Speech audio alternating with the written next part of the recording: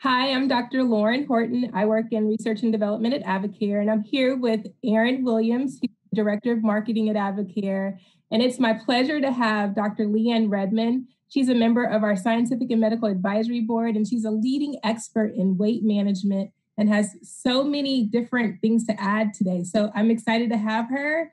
Um, and the last time we spoke, we spoke about the definition of obesity, as well as talking about um, the readiness for change, so the different stages for change. But I want to shift gears just a little bit and now talk about um, a little bit more about the markers for success, because once we start to get that maintenance and to check, it's time for us to start figuring out what are our markers for success. So, Dr. Redman, welcome again, and it's good to have you here again with us to talk about this. And I'd love to hear how you manage to um, work in markers for success for your patients at your clinic. Mm-hmm. Hey, Lauren. Hey, Aaron. I have to start. have to start there. So it's a great transition, right?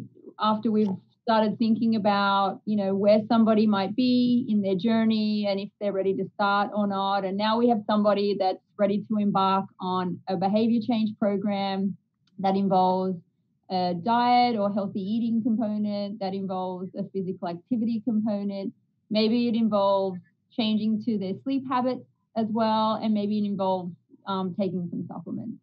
So, in this person's program, it's quite holistic, right? So, we can't just, you know, pack them up on a journey and see them in, in 30 days from now. We need to make a plan to help them monitor their progress, and we need to have a plan for our check ins. And not only do we need to have a plan for our check ins, we need to be able to help them interpret all the information that they're going to be tracking. So our feedback is going to be key to their success. So if we think about all those different factors, uh, healthy eating plan, a physical activity plan, maybe a sleep hygiene plan. We didn't talk about stress management, but that can come in, and a supplement plan. You know, what are the different ways that we can track all those things? So we have a lot of tools that are available to us. Um, probably the most valuable tool available to the person who's undergoing the journey is some kind of journal. Now, it can be a pen and paper, old school journal. It can be your notes, you know, app or whatever on your phone or your tablet or whatever the case may be, or you can actually incorporate uh, journaling and note taking or tracking in a number of, of different uh, apps. So let's talk first of all um, about diet. So one of the things that we need to keep track on, or that's been shown to be important to track, um, is not necessarily the calories, um, but even just keeping track of a meal plan.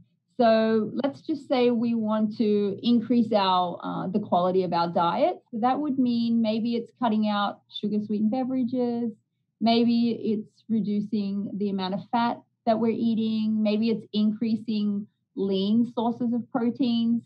Whatever the case may be, having some kind of checklist where you're putting in at the beginning of the week the kind of items that you're wanting to eat at breakfast, the kind of items that you're wanting to eat at lunch and dinner, and then the snacks in between.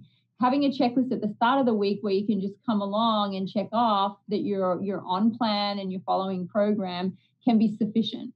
Research studies show actually that it doesn't really matter what people track with regard to the diet like you don't have to calorie count, you don't have to worry about grams of sugar, you don't have to worry about grams of fat. The studies show it doesn't really matter what it is that you're tracking as long as you're tracking something. Right. So that's really important, right? Mm-hmm. So when we set out on a change on a plan to change our our weight, let's I'm assuming it's weight loss and not weight gain. We get so fixated, right, often on the calories I'm only going to eat 1800 calories. And I can't tell you how many times when people come into the clinic and they'll be maybe 220 pounds, which for some people is 50 pounds overweight, but for some people it's 80 or 100 pounds overweight. And they'll tell you, and they'll be dead serious, honest, and they'll show you on their tracking apps on their phone, they're only eating 1200 calories a day. Mm. And I can tell you if I was to give them 1200 calorie a day diet that I'm providing from our kitchen here, those people would lose weight. Now, why is that? Why is there such a disagreement between the information that we're getting from these things that we're using for tracking and like what's actually being eaten? So there's a couple reasons for that. And one is that people, as people, we're just not very good at, at tracking calories, right? Now, why would that be? Well, the main reason is, and this is also from research studies, is that we're not good at measuring portion sizes and we're not good at reading uh, food labels. Absolutely. So let's just think about a couple of food items. I don't have any here in front of me, but let's just take um, a yogurt, for instance. It comes in a pre-packaged container, it's little, and when you read the label, it tells you exactly the number of calories in that one single serving. But let's just take a different example. Maybe it's a bag of popcorn. So now you have a, a bag of popcorn that's this big. And when you're reading the label, it tells you how many grams of popcorn are in each serving. But one single serving is not the entire bag. So mm-hmm. now you have to kind of figure out, oh my goodness, how many kernels of popcorn are in one single serving? And so we just don't do that as people. So we're not very accurate in understanding how many or how much of something that we've eaten. And when we're putting it in the app, we make a lot of mistakes. And that's true even for dietitians. So there was a really cool study that they did here uh, at Pennington many years ago now, about 10 years ago. And they took people, trained dietitians, like this is their job, is to know how to keep a food record. And even people that are highly trained in keeping food records were not able to accurately estimate the number of calories that they were being fed in a controlled uh, study. And in fact, they were off by about 15% of their of their estimation every day. Now, if we're not trained, you could imagine our error in estimating is a lot more than that. It's about 30% off. So the, my point for that that story or little uh, tidbit scientific fact um, was just to let you know it, it doesn't matter exactly. It doesn't have to be precise if you're measuring 1200 calories a day, 1500 calories a day. The point is, is that we're actually tracking. And the best approach is to track against a checklist. And the checklist was developed in a way to ensure that you're going to meet your healthy diet goals. So that's the point for diet. Okay, so I was going to ask you a question. When you were talking, I was like, oh, I wonder. So for someone that has um, been eating an unhealthy diet for, you know, years, would they want to start off with something that's drastically different, or would they want to modify their diet in stages? Mm-hmm. So there's a lot of philosophies on that. So it's going to really depend on the person, to be honest. Yeah. And some of this gets back to the that great big question is a calorie a calorie, right? So when we want to change our body weight, what matters at the end of the day, every day and every day in the week, and then every day in the month, is whether we can achieve an imbalance between what we eat, which would be less, and what we burn, which would be more. So if we can achieve this gap between what's coming in our body, calories, and what's going out, then we can dig into the energy that's in our body fat stores and we can lose weight over time, right? So the reason I'm saying it comes down to is a calorie a calorie because what might be important for one person could be reducing the amount of carbohydrate. And that's often associated with sugar intake. So for somebody, their focus might be just simply to reduce the amount of sugar sweetened beverages. So adding sugar to their tea or coffee or drinking yeah, drinking sweet tea or drinking soda. So that mm-hmm. could be a really successful strategy for a person that has a high intake of carbohydrates and sugar. And that one simple change might be enough to accelerate that gap between what's going in and what's going out and to put them on a successful journey for weight loss. Whereas another person may tell you, um, you know, during the stages of change interview that you do, um, that they struggle with eating on the go right? And we often know if we're eating on the go, that often means stopping on the way home, grabbing something, maybe at a convenience store or a fast food restaurant. And we know that those food items that we grab on the go tend to be high in fat, high in saturated fat, very calorie dense, and often high in sodium, right? Salt. Mm.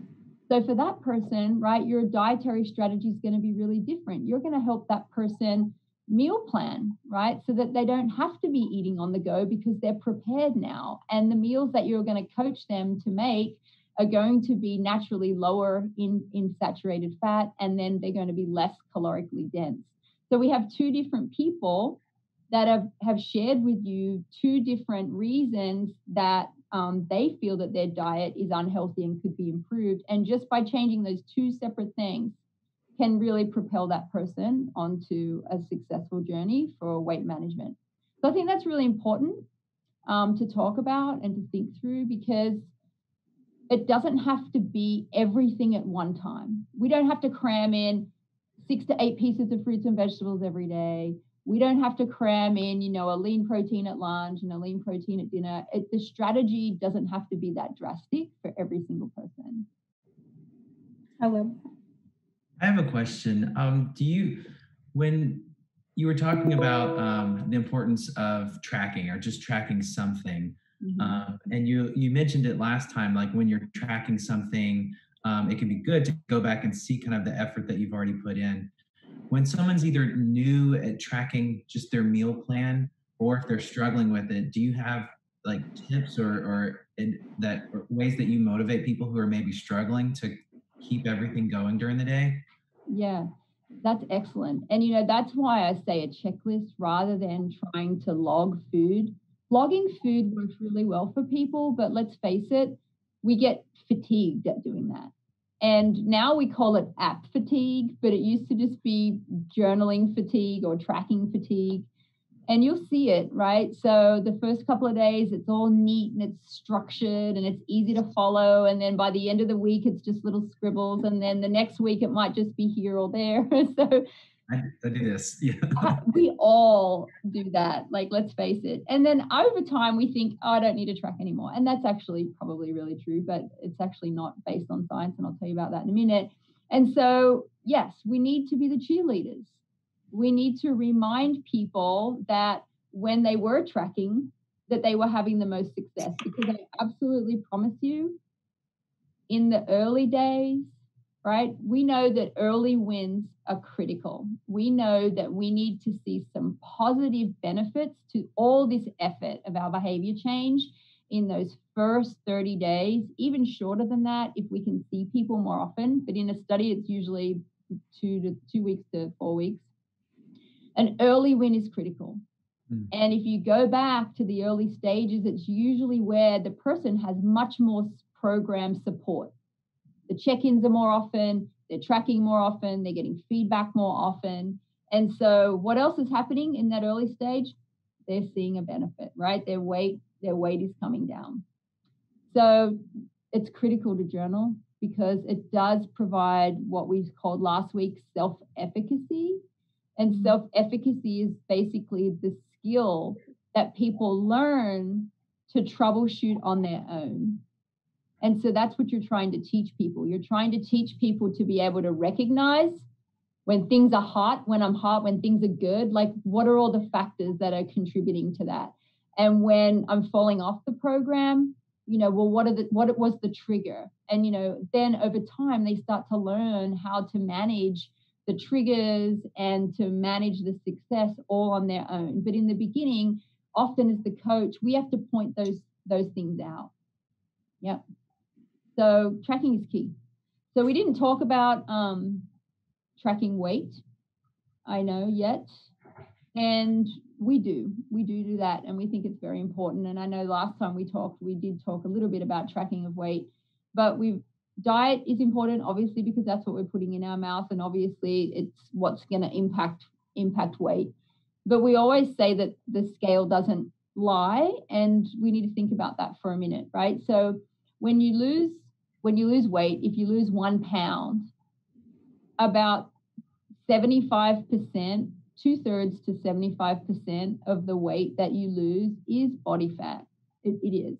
And that's been shown time and time and time again a smaller amount is water, and then a, a small amount is muscle. And so often, even if we start an exercise program in conjunction with this um, healthy eating plan, often the exercise will not be significant enough to build muscle. So if for a person's actually not seeing their weight coming down, usually it means that they're not sticking to the program. Don't assume that it's all of a sudden because they're starting to bulk up. Like we have to get away from from that idea. So I'll tell you, you know, we always incorporate exercise in our programs. We know that exercise without weight loss has tremendous benefits for people, especially for blood sugar levels and blood pressure and you know your lipids and cholesterol and all those sorts of things as well as quality of life. But we know that the exercise component of their plan is likely contributing a very small amount to this what's going in and what's going out. So that's important to keep in mind when we're tracking weight that weight more than likely reflects compliance or the person's um, commitment to the eating plan more so than the commitment to the exercise plan.